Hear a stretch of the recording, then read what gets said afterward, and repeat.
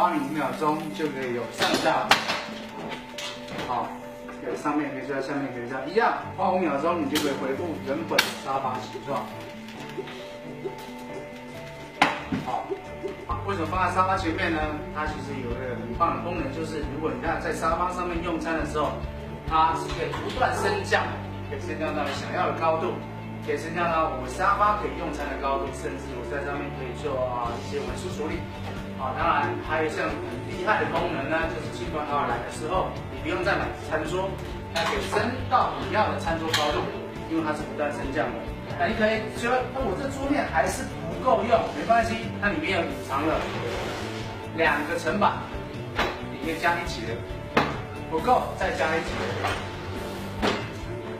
它两个层板可以让你。这样做加长，好，总共呢，你可以有十个人来共同使用这张餐桌。